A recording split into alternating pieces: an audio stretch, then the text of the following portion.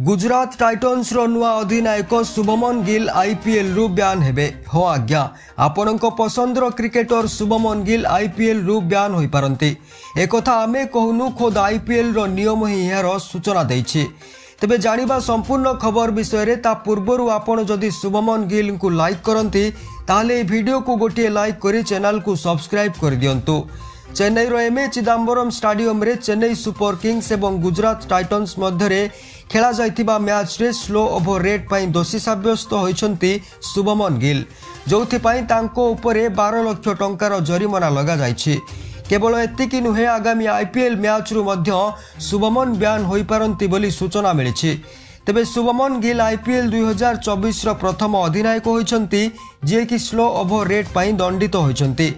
ଏହାକୁ ନେଇ ଆଇପିଏଲ୍ ପକ୍ଷରୁ ଜାରି କରାଯାଇଥିବା ଏକ ବିବୃତ୍ତିରେ କୁହାଯାଇଛି ଯେ ଗୁଜରାଟ ଟାଇଟନ୍ସର ଅଧିନାୟକ ଶୁଭମନ ଗିଲ୍ଙ୍କ ଉପରେ ଛବିଶ ମାର୍ଚ୍ଚକୁ ଚେନ୍ନାଇ ବିପକ୍ଷରେ ଖେଳାଯାଇଥିବା ମ୍ୟାଚ୍ରେ ସ୍ଲୋ ଓଭର ରେଟ୍ କାରଣରୁ ଜରିମାନା ଲଗାଯାଇଛି। ସ୍ଲୋ ଓଭର ରେଟ୍ରେ ଦୋଷୀ ସାବ୍ୟସ୍ତ ହୋଇଥିବାରୁ ଆଚାର ସଂହିତା ନିୟମ ଆଧାରରେ ଗିଲ୍ଙ୍କୁ ବାର ଲକ୍ଷ ଟଙ୍କାର ଜରିମାନା ଲଗାଯାଇଛି।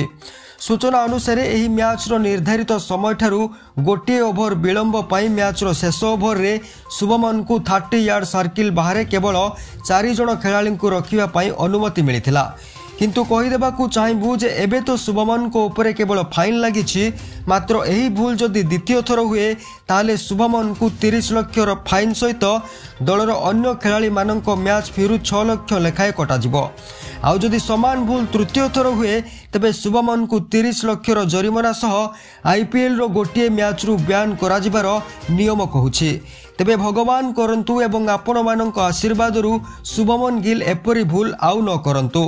ଏହିପରି ପ୍ରତିଦିନ ଓଡ଼ିଆରେ ଆଇପିଏଲ୍ ନ୍ୟୁଜ୍ ଜାଣିବା ପାଇଁ ଭିଡ଼ିଓକୁ ଲାଇକ୍ ଏବଂ ଚ୍ୟାନେଲକୁ ସବସ୍କ୍ରାଇବ୍ କରନ୍ତୁ।